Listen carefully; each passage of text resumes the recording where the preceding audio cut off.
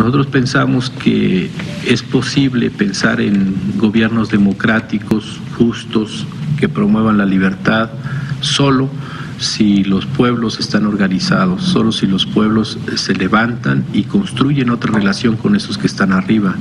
Eh, los gobiernos pasan, decimos nosotros, los pueblos permanecen.